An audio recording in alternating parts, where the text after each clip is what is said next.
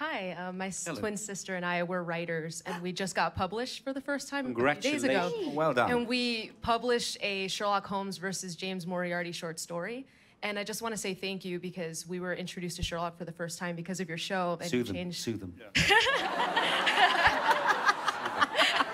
is not allowed. If you could just conduct them to the exit, uh, where we'll um, where we'll be prosecuting them with our with our We're in. carry along Get- lawyer. yes, we've identified that. Yeah, we, Yeah. yeah. Two girls in Deerstalkers. That's right.